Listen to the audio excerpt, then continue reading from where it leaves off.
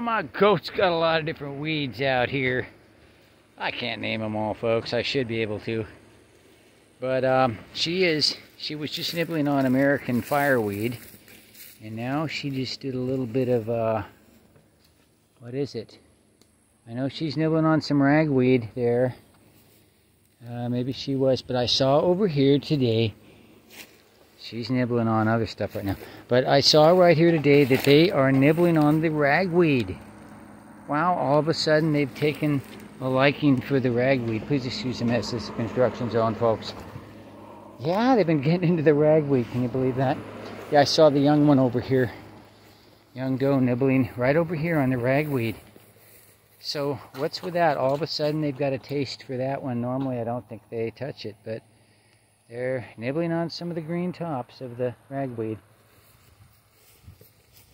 That's so great. The goats eat so many different things. It's all good for them.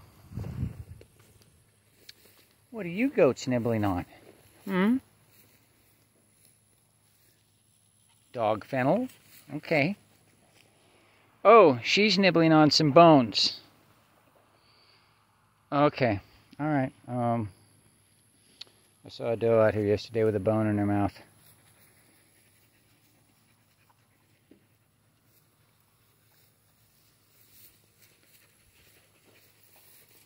There's some other weeds there. I don't know the names of those weeds, but we need to figure those out. They love the weeds. They love the grasses. They love the weeds. There's Bahia grass here, and uh, he's nibbling on those now. And He's nibbling on some grass down there, but he's been on some weeds. Um, what's this here? Yeah, we're gonna watch out. Oh, another one of our purple tomatillos here, our ground cherry plants. That's actually a nightshade, and the goats don't uh, eat that. It might even be toxic for them, but they, they just don't want it. But typically I find it and I go and put it in a special area where I'm growing it it just it'll just pop up all over the place. Very hardy plant. Look at all those little paper lanterns there. There's little purple cherry tomatoes in there. Little tomatillos or ground cherries they call them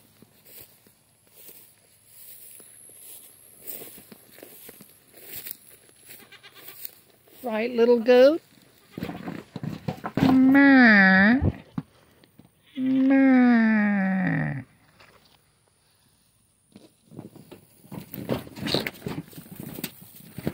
Hey, brother.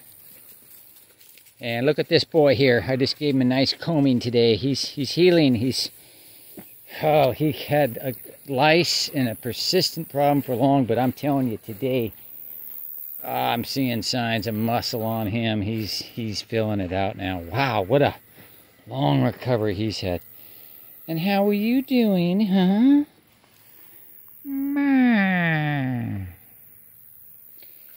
This girl's over here nibbling on some minerals. And they got some fresh lake water in a bin right there. Plenty of water out here for the goats. Right, pup?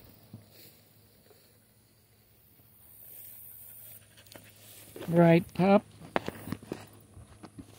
All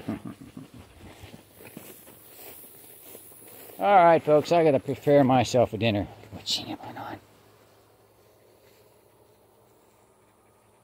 Right now she's got a little piece of grass. And there's that little girl on the ragweed again. Her and her mother.